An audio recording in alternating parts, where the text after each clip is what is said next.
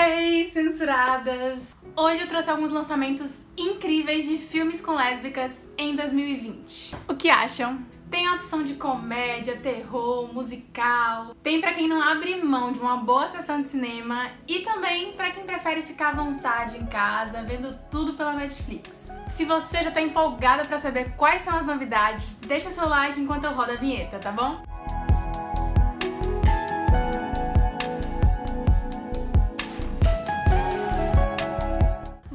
De uma forma mais leve, com uma comédia musical da Netflix que vai chegar com tudo esse ano, contando a história de um romance adolescente lésbico. Na trama, a Emma, que é uma garota lésbica com pais bem conservadores, é impedida de ir ao baile de formatura porque ela quer levar sua namorada como para oficial. Com a polêmica, o baile acaba sendo cancelado, mas uma reviravolta estava por vir. Esse episódio chama a atenção de alguns atores fracassados da Broadway que estão procurando uma boa causa para ajudar. Ok, na verdade a intenção deles não é tão altruísta assim. Eles só querem mesmo encontrar alguma forma de criar polêmica na mídia e alavancar suas carreiras de novo. Mas enfim, né? Eles decidem que vão ajudar a Emma a reverter a decisão do diretor da escola a qualquer custo. Por mais doida que pareça essa história, ela é bem inspiradora para vários jovens LGBTs que já passaram ou passam por isso inclusive para o próprio diretor do filme, que é o Ryan Murphy, o mesmo que fez Glee.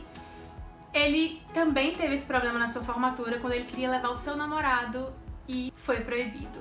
Coincidentemente, esse caso que aconteceu com o Ryan Murphy foi no mesmo local que é ambientada a trama, que é em Indiana. O filme começou suas filmagens no mês passado, em dezembro, e tem a previsão para ser lançado em setembro deste ano, que para quem ainda não percebeu, cai estrategicamente próximo das novas eleições norte-americanas. Isso porque o longa The Prom tem a intenção de mudar mentes, corações e votos. Vamos torcer para dar certo, né? Para isso, o show conta com grandes nomes no seu elenco como Meryl Streep e Nicole Kidman. The Prom é uma adaptação de uma peça musical da Broadway super elogiada, que já teve sete indicações ao Tony e fez história ao exibir o primeiro beijo gay em uma transmissão da famosa parada de ação de graças. Já viu que as expectativas são grandes, né? Agora nos resta esperar que essa nova história de amor chegue às telinhas.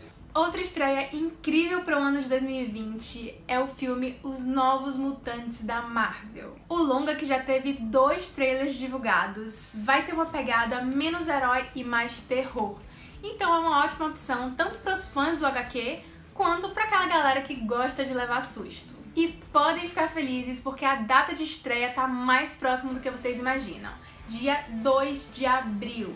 Pois é, já já tá chegando. Os Novos Mutantes terá o primeiro casal lésbico da Marvel exibido nos cinemas que será protagonizado por Miragem e Lupina. Pelo trailer não dá para saber exatamente qual o grau da relação amorosa delas, mas nós sabemos que elas vão se apaixonar ao longo do filme enquanto estão presas em uma instituição psiquiátrica. Na trama, cinco jovens mutantes descobrem o alcance do seu poder e têm que lidar com traumas do passado enquanto são presos contra sua vontade em um hospital sinistro. Danielle Moonstar, a Miragem, é uma nativa americana que acaba de chegar nessa instituição onde os outros mutantes já estão presos. Nos quadrinhos, ela é capaz de entrar na cabeça das pessoas e fazer os seus piores medos se materializarem.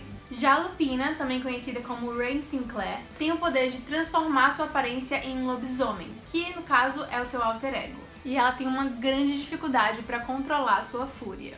O longa deveria ter estreado há dois anos atrás, mas finalmente teve sua estreia confirmada aos cinemas e vai ter várias referências e elementos dos quadrinhos originais, mas tudo em uma atmosfera bem sombria que vai ser vivenciada por esses jovens peculiares.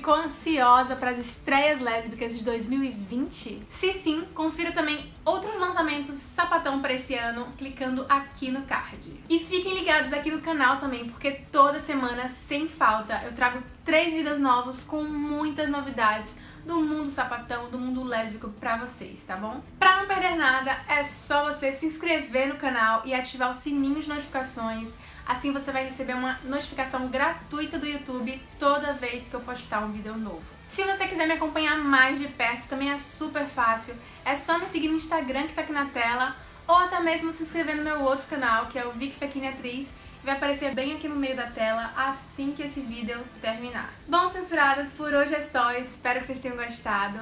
Antes de ir embora, me conta aqui nos comentários qual dessas dicas de hoje tem mais a sua cara, tá bom? Um beijo e até logo!